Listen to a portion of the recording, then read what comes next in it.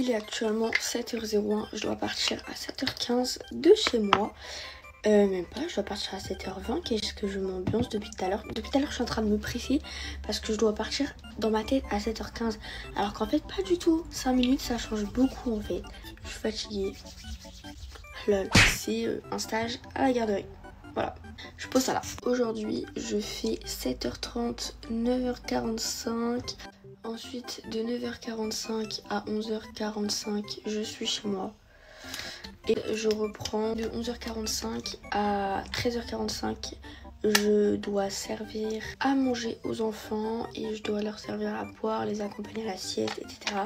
Ensuite, je rentre chez moi de 13h45 à 16h. Et de 16h à 18h, euh, je dois jouer avec eux, tout ça, tout ça. Donc, c'est cool. C'est très très cool. Je pense que je vais rentrer, je vais dormir parce que j'ai trois pauses, trois pauses différentes dans la journée. Donc, je vais rentrer chez moi, je vais dormir. Et voilà. Donc ouais, la première matinée, je vous ai pas dit, mais pareil, je dois les garder parce que les parents déposent les enfants à l'école pour le travail. Désolée, c'était un peu le bordel dans les explications.